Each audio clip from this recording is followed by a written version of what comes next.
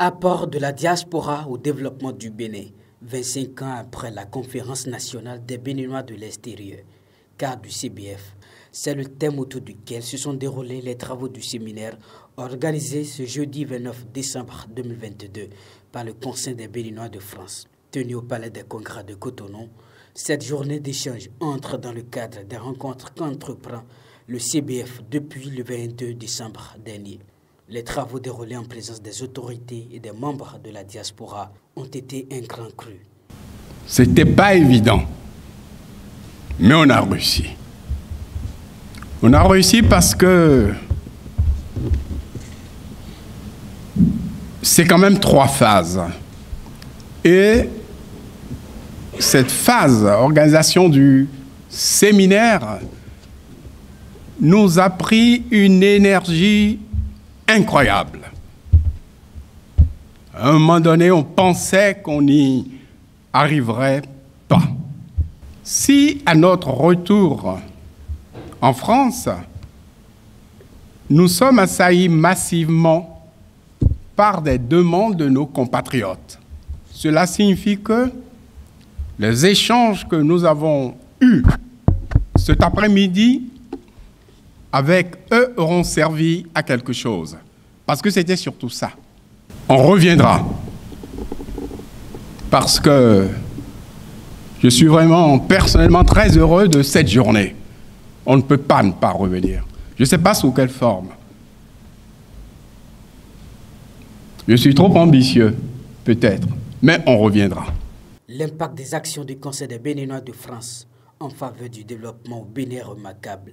Fort de ce constat, le gouvernement encourage et rassure de sa disponibilité à accompagner pour la poursuite de la dynamique. Je voudrais vous exhorter à maintenir, à renforcer cette dynamique de contribution à la construction de notre pays au regard de l'impact positif que votre action a sur nos populations.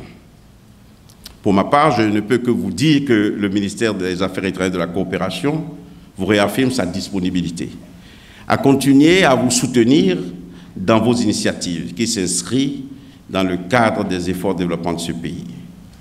Je voudrais saisir cette occasion pour dire à nouveau, euh, pour vous rassurer, pour vous dire que le gouvernement du président Patrice Talon est sensible aux préoccupations de nos compatriotes qui vivent à l'étranger et œuvre inlassablement avec les moyens limités qui sont les nôtres pour euh, l'amélioration des services consulaires, en particulier la facilitation des conditions d'établissement des documents de voyage. L'appréciation est la même chez l'autorité municipale de Cotonou, qui exhorte également l'association à la poursuite de ses actions. Depuis 25 ans, vous avez accompagné et initié des projets pour plus d'un milliard de francs CFA, des projets importants en direction des jeunes filles, des filles mères, des garçons et des femmes l'autonomisation des jeunes filles et des femmes, la microfinance, l'assainissement, l'environnement, la santé et j'en passe, sont autant de domaines dans, lesquels vous intervenez. Par vos actions, vous soulagez les souffrances de nos frères et sœurs, compatriotes et parents restés au pays. Ils saluent votre expertise en matière de co-développement et vous exhortent à continuer dans ce sens. Les actions du CBF et ses opportunités d'accompagnement ont été présentées. Des témoignages sur l'historique et le fonctionnement des associations de la diaspora ont été aussi faits. Édifiés, les participants témoignent de l'opportunité de l'initiative du CBF. Les discussions que nous avons eues euh, montrent en fait euh, tout le potentiel qu'il y a au niveau donc de la diaspora euh, pour aider en fait le pays en tant que 13e région ou département à se révéler comme le, pays le souhaite. On a des compétences très importantes au niveau euh, de la diaspora. Vous l'avez constaté à travers les différentes interventions.